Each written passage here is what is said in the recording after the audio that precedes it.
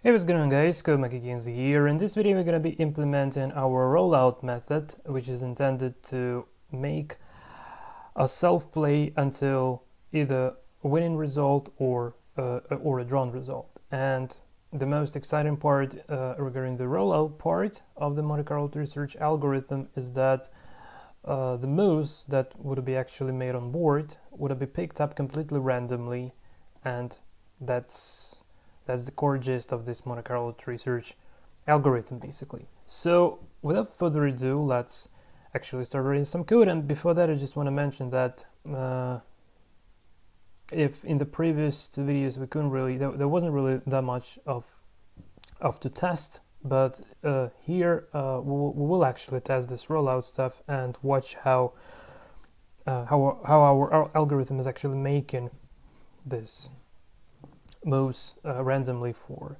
each side until reaches the uh, ends the terminal state of the game. So without further ado, let's actually start. So here in the rollout, we need to make random moves for both sides until terminal state of the game is reached.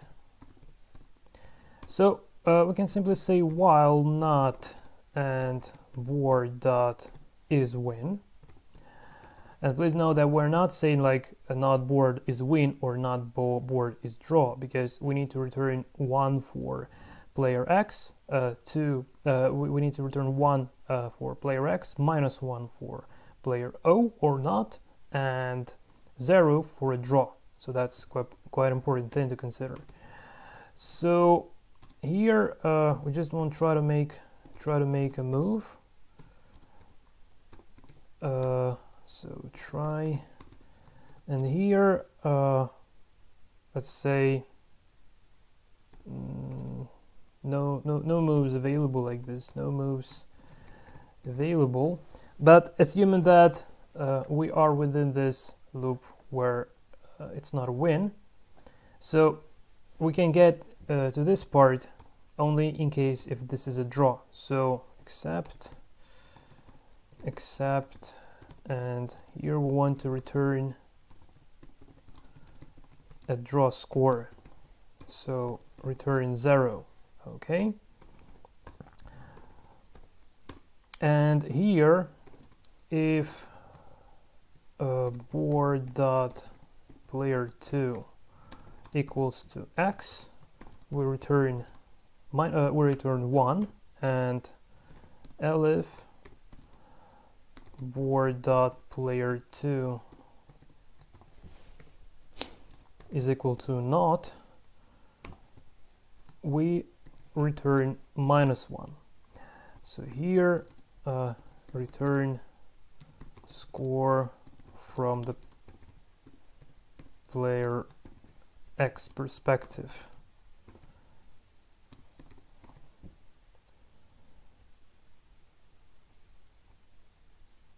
yeah. Okay so now let's actually try this out. And if we just get back to our tic-tac-toe.py file and scroll to the very bottom of it uh, I don't really need all this stuff anymore. So we just can simply get rid of this. And if I just open the terminal in the current working directory and type python 3 tic-tac-toe.py uh, okay, excuse me, return node. It's a bit, a bit tricky. Line 9.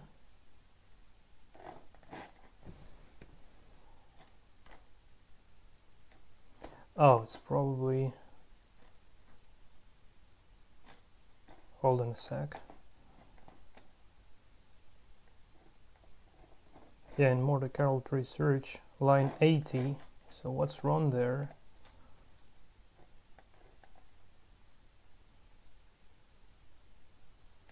Oh, it's just the wrong indentation, I guess. Okay. Uh, and where is the except block? Line 115. Oh, because I didn't do anything within the try. okay. obviously, I forgot to make uh, make the move on board. Obviously, it's the the main the main thing to consider basically. So board would be equal to random choice and board dot generate states. Okay, so now it should be working. Yeah, perfect. So let's actually try to create Monte Carlo tree search instance. So mcts equals to MCTS like this. So creating an instance. And now we already have this board instance being created. So let's simply try to call Monte Carlo tree search dot rollout and pass in the board as an argument. So here we want to simulate a random game.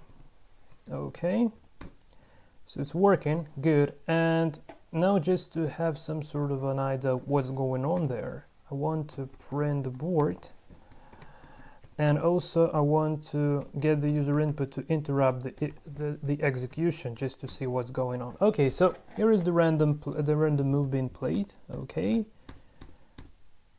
Okay, and we end up here because uh, the winning state of the game has been reached, just just like I've been mentioning. So that's it.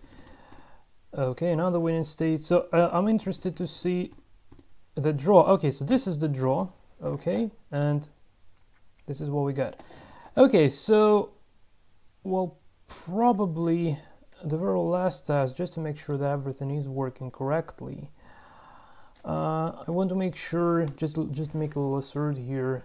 So I want to make sure that um, board state is win here. So print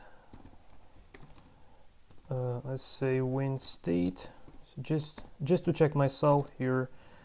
And board dot is win. Okay. And I don't want to print this well uh, I can actually yeah, just get rid of the input. And here I want to print uh, game drawn. Okay. Uh, oh, well, let's actually just to make 100% sure, let's say draw state and board is draw. Okay, so it should be printing the boards along the way. Okay, okay, so something is going a bit wrong here. Hold on. Hold on a sec.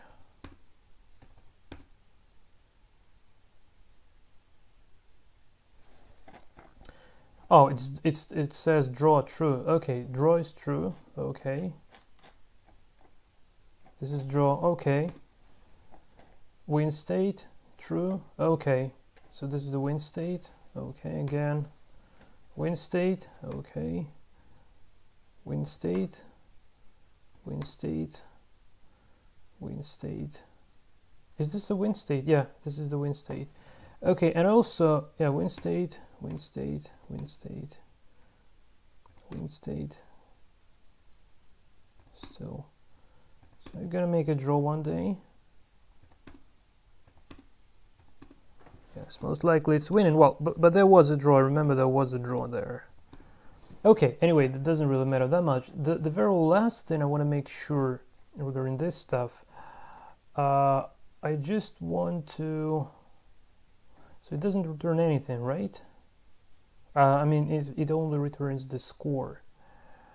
So let's actually print the eventual board position here. Okay, let's not deal with this draw stuff.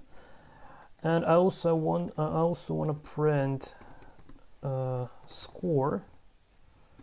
So print game result and score and well actually this would be the score, right? And I want to print this score. Okay, so score is equal to 1 because we have x winning the game, which is correct. Now not is winning the game, score is minus 1, which is correct. And okay, now score is equal to 0, but it doesn't print the board. So yeah, I would probably also like to print the board when the game is drawn. So print board here just to triple check anything. Okay, so score one, good. Score one, score minus one, not is winning, okay. Score zero, and this is the drawn position. Okay, so score zero, the position is drawn. Yeah, it seems to be absolutely correct. Well, okay guys, so this is it regarding the rollouts. So I don't know how you personally, uh, how you find this, but I find this rollouts to be the, the, the most fun part of the entire Monte Carlo tree search algorithm. I don't know, I just, I just, I just really like it, it's so cute. So, uh, so just made sure to remove all the uh, all the print board statements. And I'm just, hold on a sec, I'm just wondering, board, is actually board changing here? It shouldn't be. Yeah, it shouldn't be. Yeah, that's, that's correct. So the very last thing basically left uh, regarding the Monte Carlo tree search algorithm implementation is the backpropagation part, but that's quite pretty trivial. It's just a, a couple lines of code. Uh, but uh, I will leave this, I will still, I will leave this to, to the next video. And after completing the back propagation after complete, completing this backpropagate uh, method, which again, like just a couple lines of code, the matter of couple, couple of lines of code here. We'll then try to actually test our entire Monte Carlo tree search algorithm via given a real position and asking uh, to find the best move for that position. And well, probably we'll even try to make computer play versus itself. I think that would be fun. And then when the result is, if the result is satisfying, if there is, if there are no nasty bugs along the way, then uh, eventually we will embed this computer player to our game loop, so we would be able to play versus AI powered by Monte Carlo tree search Reinforcement Learning algorithm. Okay guys, so this is it from my side. Uh, I hope to, to uh, hope to see you in the next tutorial in this tic-tac-toe with Monte Carlo tree search algorithm tutorial series. Until that time and take care.